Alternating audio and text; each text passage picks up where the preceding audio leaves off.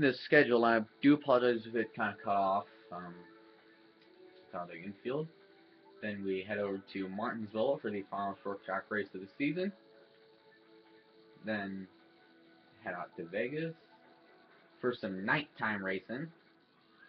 Then Atlanta for the Atlanta 500 under the lights. And then we end the season.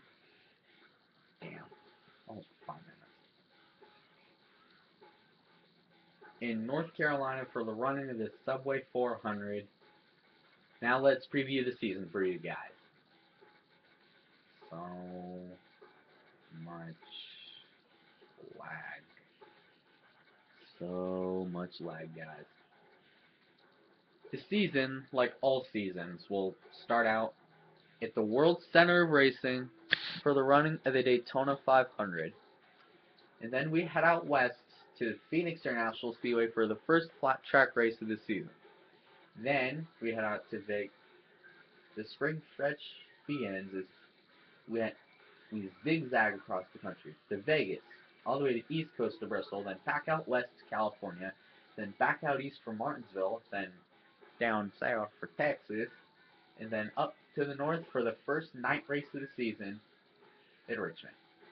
Then we the summer stretch heats up as many popular races, including Dodge Raceway as inaugural date.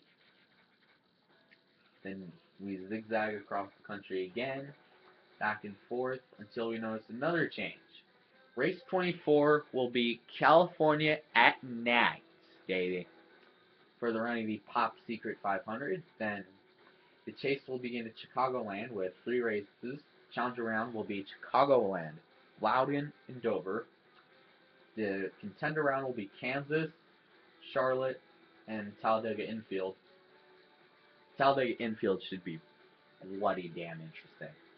And then Martinsville, Las Vegas, and Atlanta for the eliminator round. And then the championship race will be at North Carolina. And now we get to the real meat of this schedule. Who am I going to be? Now, I will only accept real numbers if you want me to be one of these custom cars. Some of my overly overzealous neon custom cars. you say. And you got all these guys. I can be them too. Just message me in the comments below. Um, I can look. I hit every car much in the game. I have Ward Burton, Nemechek, Rusty Wallace, Dale Earnhardt, Terry Labonte, Mark Martin, Dale Earnhardt Jr.